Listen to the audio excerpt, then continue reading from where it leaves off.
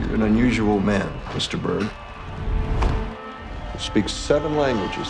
You're an athlete. You're more than up to the physical requirements of the job. What job?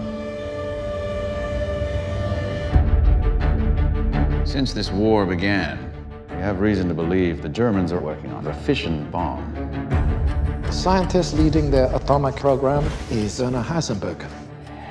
We must get to him and find out how close the Germans are to a bomb. Welcome to the OSS, Mr. Berg. Millions of lives at stake. A 5% chance of losing the war to a weapon like this, you do what has to be done. You can't allow yourself to be captured.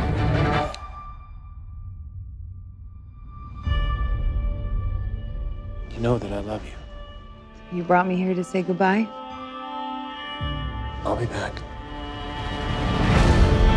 Is this your first job? I've never killed a man. If that's what you mean. It's not as hard as you might think. I don't know what God you believe in, Berg, if any. But I'll be asking mine to keep an eye on you.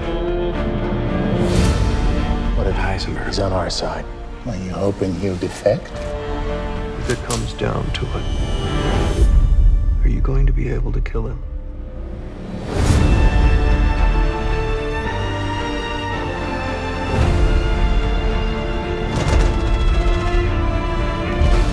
May be one moment that tells you whether the Germans have bomb.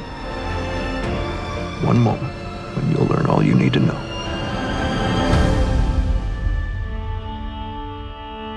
We'll move.